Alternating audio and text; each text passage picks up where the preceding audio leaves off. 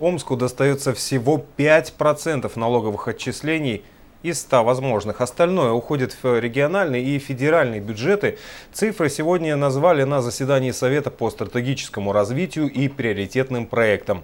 Для сравнения, в 2000 году в город поступало почти 50% налоговых отчислений. Какие меры готовы принять чиновники, чтобы Омск смог дальше развиваться, узнала Ксения Туечкина.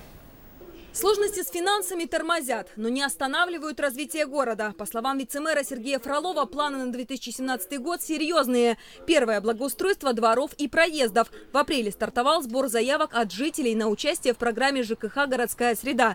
В список попало более 900 придомовых территорий. Федеральное финансирование не смогло покрыть такие потребности города. Выделенных 158 миллионов рублей хватит только на 186 дворов и 18 проездов. Но на этом программа не завершается завершается. Впереди еще 4 года. Сейчас нельзя расслабляться, так по результатам реализации программы в 2017 году это, основно, это основа выделения финансов на последующие годы. Вот как мы в этом году отработаем, значит, то дальше э, пойдет выделение финансовых средств в сторону увеличения. Хочу сразу сказать, что, к сожалению, мы считаем, что из городов миллионников или из административных городов миллионников, то есть ну, областных центров, мы получили не столько, как, допустим, получил Краснодар, Красноярск и даже наш сосед Барнаул.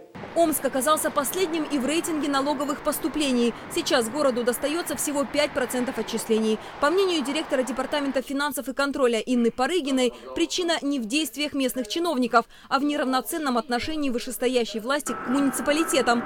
Выровнять положение реально на региональном уровне. Депутаты Заксобрания могут внести поправки в налоговое законодательство Омской области. Так поступили в соседних регионах.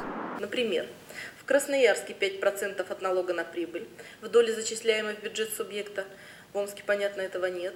В Новосибирске, Красноярске, Самаре, Перми 15-17% от налога на доходы физических лиц, в Омске только 5%. В Казани, Уфе, Ростове-на-Дону, Челябинске от 10 до 50% налога от упрощенной системы налогообложения – в Омске этого нет. В Перми в городской бюджет зачисляется 100% транспортного налога. В Омске также этого нет.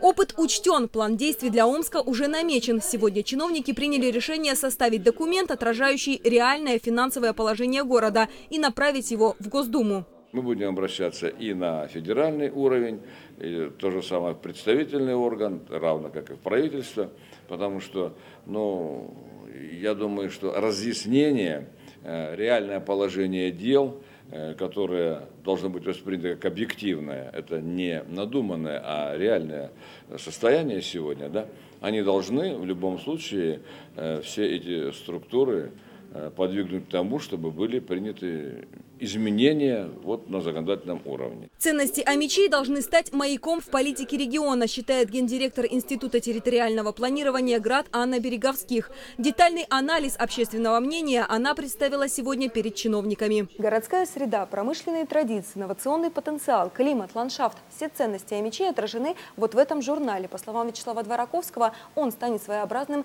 штурвалом для чиновников. По нему город будет развиваться в ближайшие годы. Ксения Тоечкина, Андрей Кузьмин. Антенна 7.